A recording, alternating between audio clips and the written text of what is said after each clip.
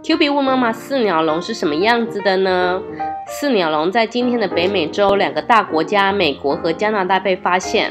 它们是用两只脚行走的恐龙，身材的长度和高度呢和一台箱型车差不多。它们身材的特征呢是有长长的脖子、长长的手和长长的脚，跑起来非常的快，和一台汽车差不多。它们的头部和现代鸟非常的类似，四鸟龙有大大的眼睛，有像鸟嘴一样的喙，喙里面是没有牙齿的。古生物学家认为它们是杂食型的动物，和现在的鸟一样，既吃虫子也吃果实。过去古生物学家一直没有办法证实四鸟龙是不是披有羽毛，但是在最近的化石发现，证实了四鸟龙是披有羽毛的恐龙。